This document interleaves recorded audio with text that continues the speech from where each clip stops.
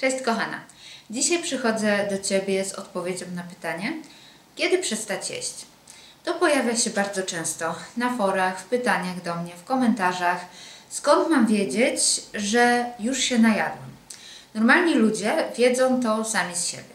Tak podpowiada im organizm, tak podpowiada im uczucie sytości. Jeżeli poobserwujemy małe dzieci, no to małe dziecko je, dopóki nie powie stop, dopóki nie zamknie buźki, dopóki nie odwróci głowy e, od, od źródła jedzenia, tak, od łyżki, która mm, e, w jego stronę się przesuwa z kolejną porcją. E, a my, jako że wpadłyśmy w zaburzenia odżywiania, zaburzyłyśmy sobie ten mechanizm i czasami nie mamy pojęcia właśnie, kiedy przestać jeść. Czy jesteśmy najedzone, czy za pół godziny znowu będziemy głodne. Znacie to na pewno ze swojego własnego przykładu. Ja także to przerabiałam i myślę, że to jest jedne, jedno z najtrudniejszych wyzwań, z jakimi musimy się zmierzyć właśnie wychodząc z zaburzeń odżywiania. Dobra wiadomość jest taka, że organizm bardzo szybko e, znowu to załapie bardzo szybko zacznie nam wysyłać prawidłowe sygnały, kiedy jesteśmy najedzone, kiedy jesteśmy głodne.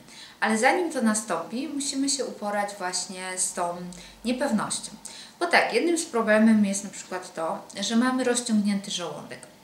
Jeżeli nie słuchałyśmy swojego ciała, jeżeli obżerałyśmy się toną słodyczy, no to na pewno ten żołądek będzie mm, rozciągnięty i po prostu nie będzie wysyłał tych sygnałów y, prawidłowo. Tak więc trzeba ten żołądek skurczyć.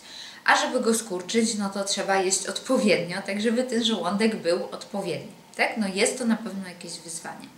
E, drugim problemem jest to, że nasz organizm jest spanikowany i po prostu w momencie, kiedy dostaje w końcu to jedzenie, e, pragnie się najeść jak najwięcej. Tak mózg wysyła sygnały, jest w końcu jedzenie, więc jemy, bo nie wiadomo kiedy będzie kolejna porcja.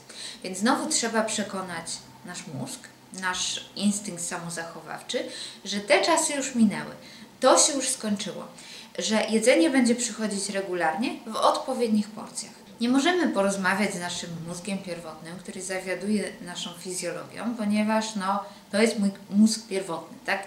Dzielimy go y, z gadami, z niższymi ssekami, z każdą formą życia y, praktycznie na Ziemi. E, I ten mózg nie rozumie mowy, tak? Nie możemy mu powiedzieć, słuchaj, wiesz, od dzisiaj już nie będę robić diet, będę jadła wystarczająco. Trzeba mu to po prostu pokazać. Raz, drugi, trzeci, dziesiąty i właściwie to wystarczy. Tak? Wystarczy naprawdę kilka dni, żeby, żeby organizm przestał czuć taką dziką panikę e, przed tym, że jedzenia zabraknie. Żebyśmy przestały się najadać na zapas. Ja to obserwuję u moich podopiecznych na mentoringu, to idzie naprawdę bardzo szybko. No ale dobra, powiedzmy, że dzisiaj jest Twój pierwszy dzień, kiedy postanowiłaś jeść tyle, ile potrzebujesz i wyjść z zaburzeń odżywiania.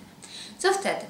No tak, czytam bardzo często, że mózg potrzebuje 20 minut, e, żeby sygnał z żołądka e, doszedł e, właśnie do, do głowy, żeby nam powiedział, że, że już wystarczy.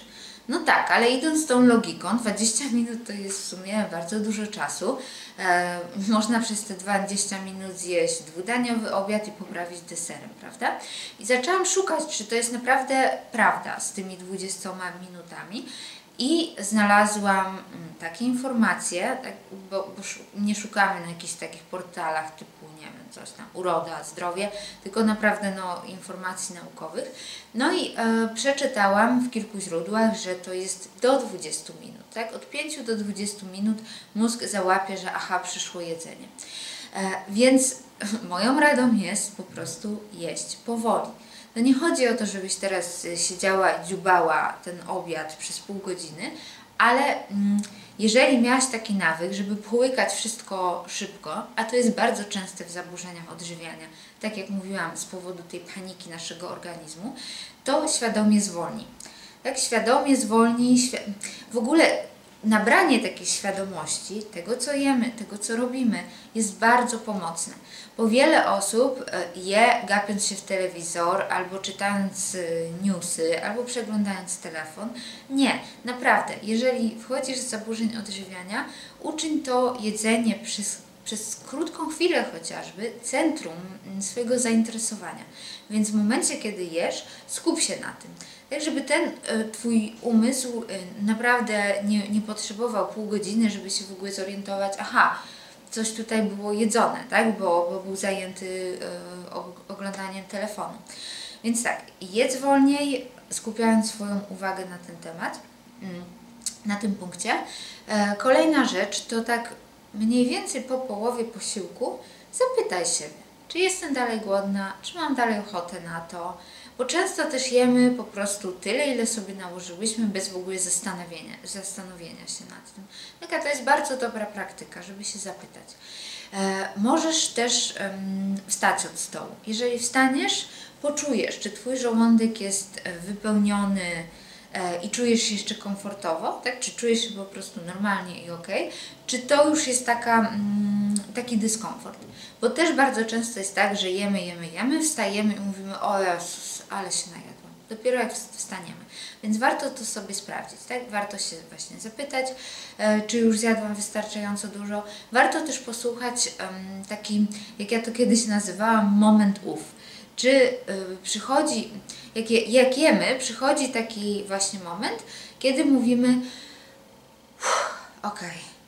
I wtedy następuje pauza.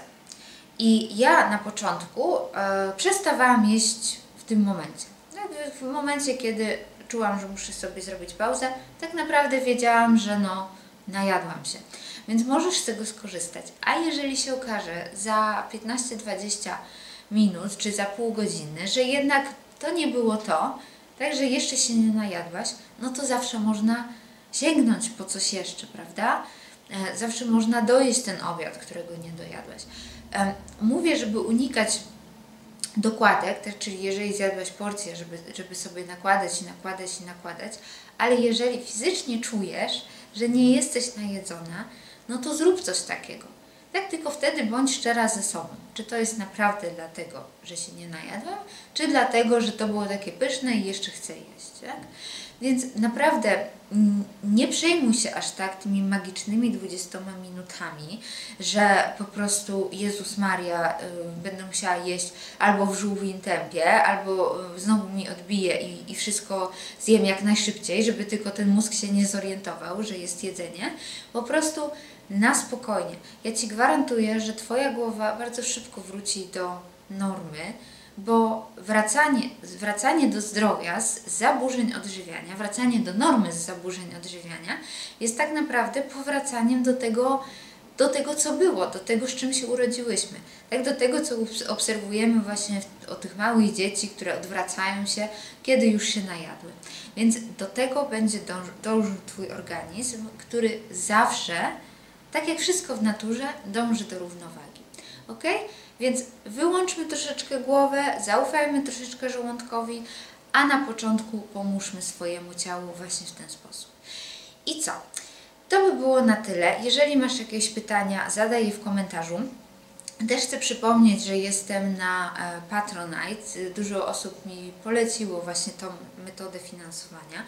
Więc jeżeli to, co mówię, jest dla Ciebie przydatne, wesprzyj mnie, tak? daj mi e, kciuka w górę, że e, naprawdę Ci to pomaga. I co? Widzimy się w kolejny poniedziałek. Dziękuję Ci. Pa, pa.